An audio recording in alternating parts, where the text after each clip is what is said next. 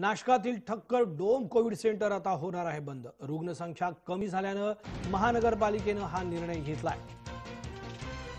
रविवारी नाशिक जिल्ह्यात अकराशे तीन तर शहरात तीनशे सत्तेचाळीस नव्या रुग्णांची नोंद झाली आहे. रुग्णसंख्येचा आलेख दिवसेंदिवस घटतोय या पार्श्वभूमीवर.